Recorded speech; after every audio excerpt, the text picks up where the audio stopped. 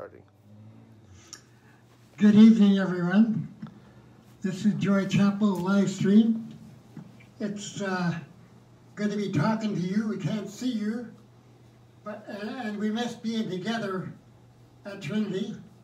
But we're doing this instead, and hopefully we'll be able to uh, get through to you some of the blessing that comes from God's Word. And so we're going to pray.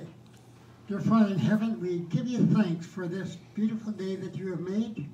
And thank you, Lord, for this evening where we can gather and uh, join to sing praises to your name and to read your word together. And I pray, Lord, that as we uh, sing and pray and read, that your word will be a blessing to all that hear. We pray in Jesus' name. Amen.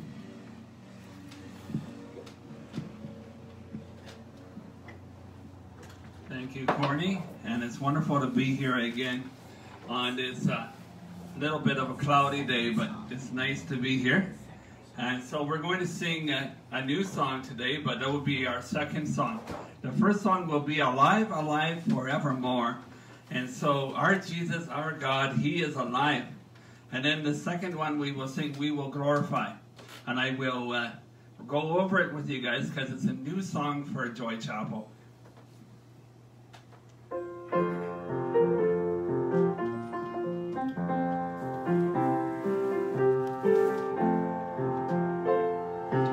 Alive, alive, alive forevermore. My Jesus is alive, alive forevermore. Alive, alive, alive forevermore. My Jesus is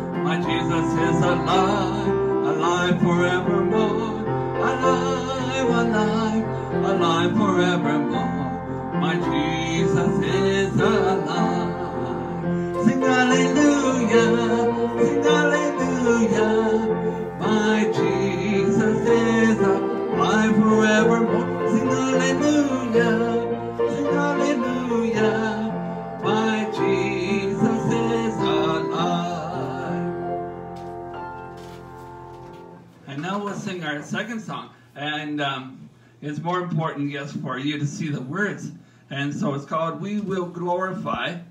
And so uh, first, uh, we only have these words. This is the first verse. Then we'll sing the uh, second verse. And it's instead of singing We Will Glorify, we will sing Hallelujah. So, we will glorify the King of Kings. So, then we will, uh, the second verse, we will say hallelujah to the King of Kings. And so we need to remember that when we sing.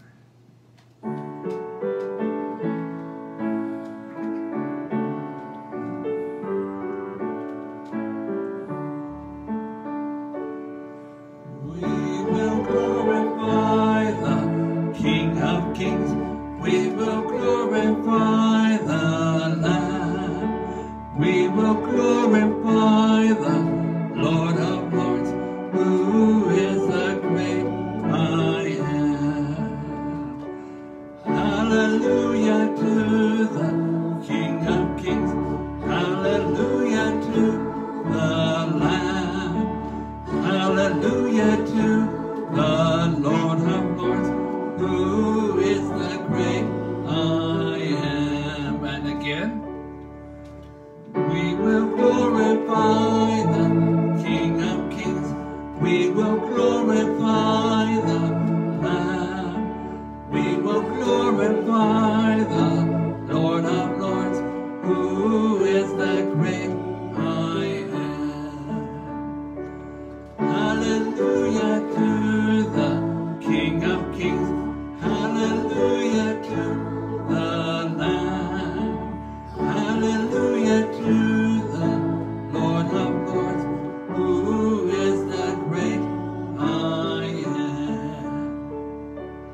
know, yes, uh, Allison was telling me this song doesn't say Jesus, but who is the King of Kings?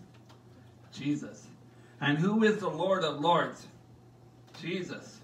And who is the great I am? Both God and Jesus. And so now we'll have our memory verse, I believe. Yes, and another name, another name for Jesus is the Lamb, because he was the Oh, Lamb, the wasn't Lamb, right? Yes, and then here, in these words, we had this last week. Uh, he is saying these words that he is the light. And we're just going to review that because if we say the verses over and over, maybe we'll remember them. So Jesus said, I am the light of the world.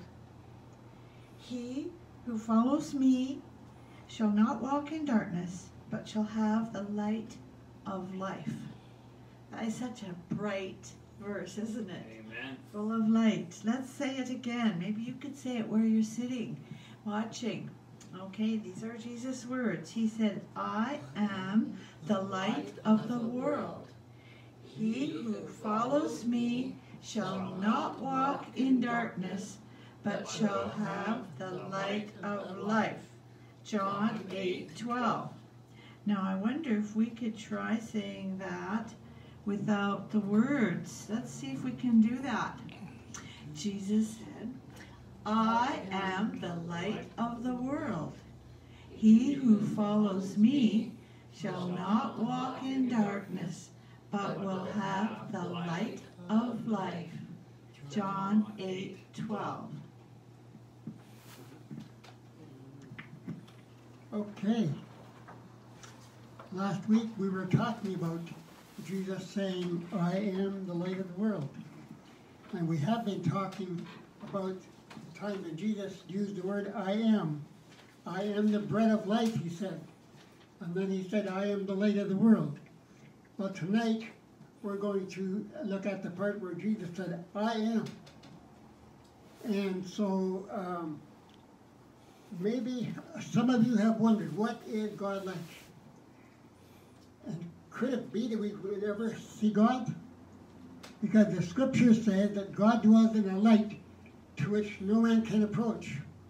And when Moses wanted to see him, God said, You can't see my face and live. And oh my.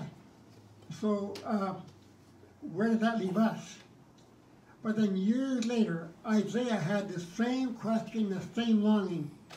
And he cried out to God as we read Isaiah chapter 64, verse 1.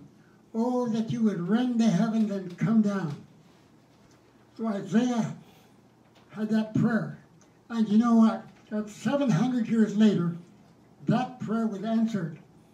Just when the time was right, Jesus can be born. That's the Christmas story. And it says in John 1.14, and the Word became a human being and made his home among us. And so, if we really want to see Jesus, then read the New Testament, read the Gospels, and then you'll get a good idea of what God is really like. So I will read to you that episode from John chapter 8, starting in verse 31 and going to verse 59.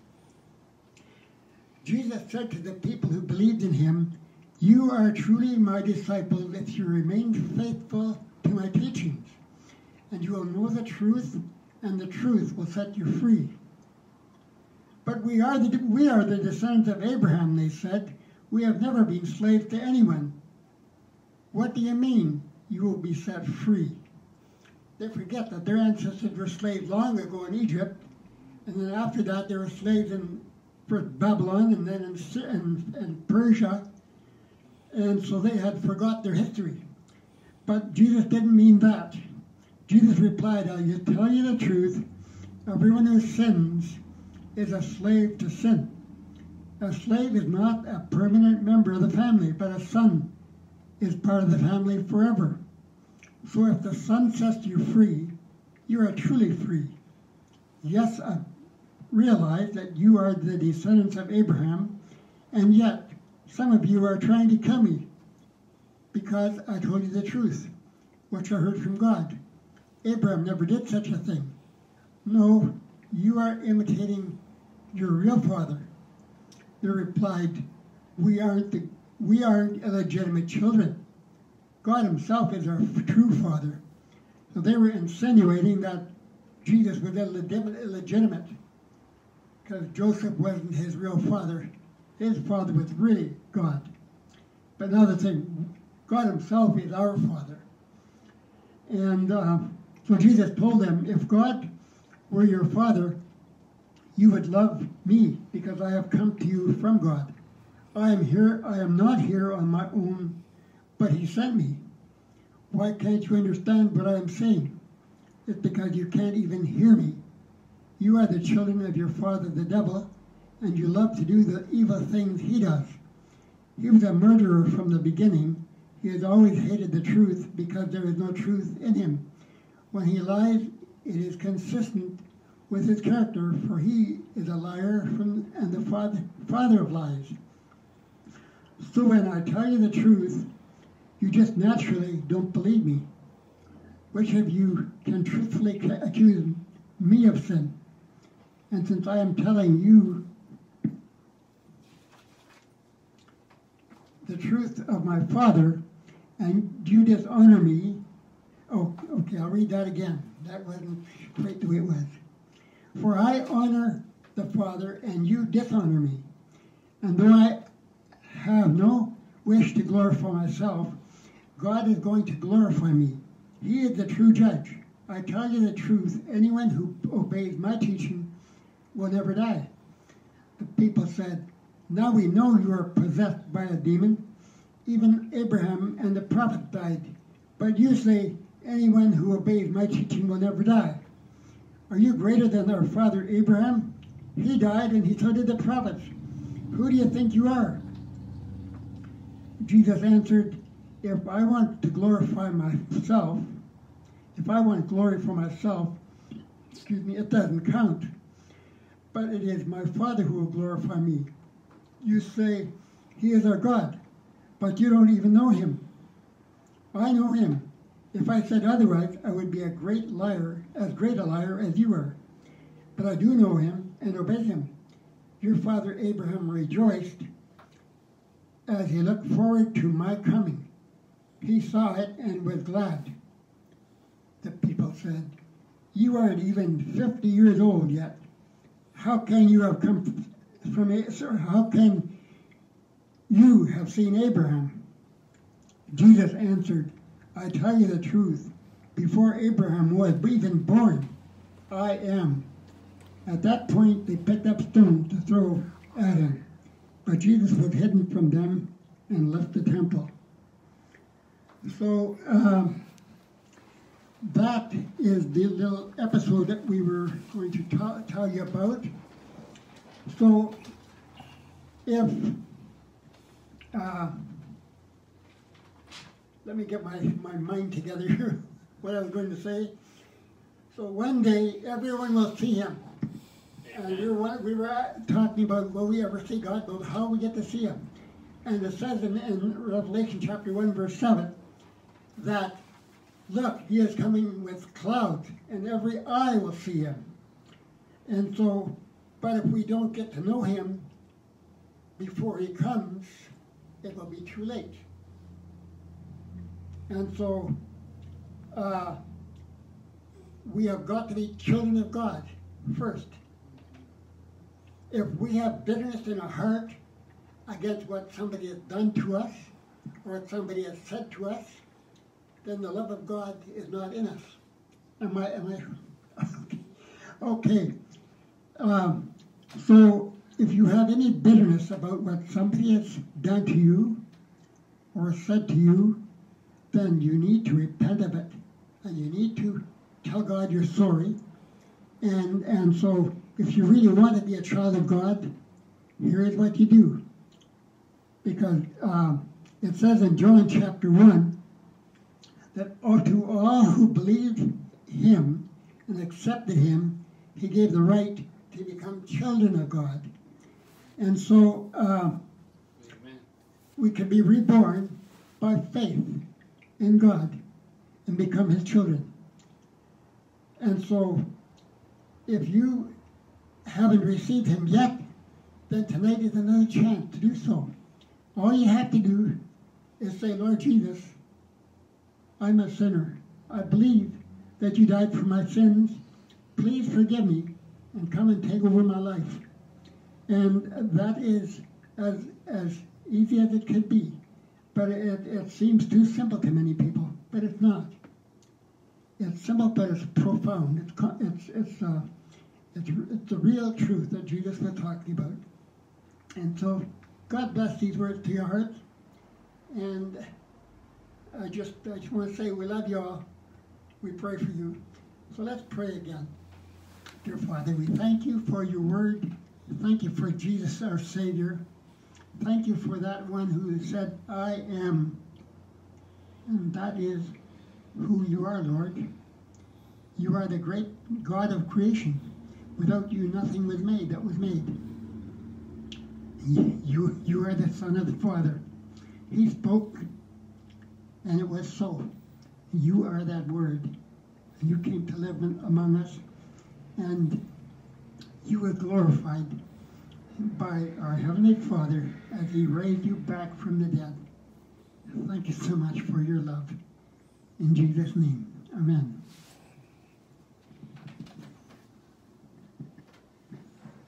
Yes, it was really nice to connect with you all again. You know, we do all the connecting mostly on this side, but sometimes some of you message us or whatever on, and I, uh, one per, one of the uh, Joy Chapel guests uh, messaged us last night for a prayer request. So uh, I won't say the prayer request, but you know we we need to uh, know what you guys are up to. So if you want, you can message us prayer request and uh, what you're doing um, and such. So uh, you know that we're praying for you, and we miss you all, and we look forward to seeing, connecting with you uh, next Thursday also. So the Lord bless you and keep you.